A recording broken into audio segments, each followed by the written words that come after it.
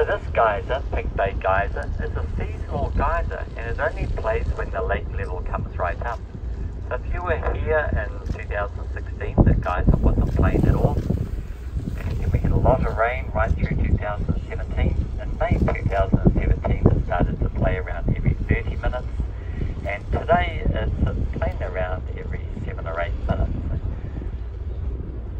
Starting to fall off. It's a lovely addition to our cruise. Yeah,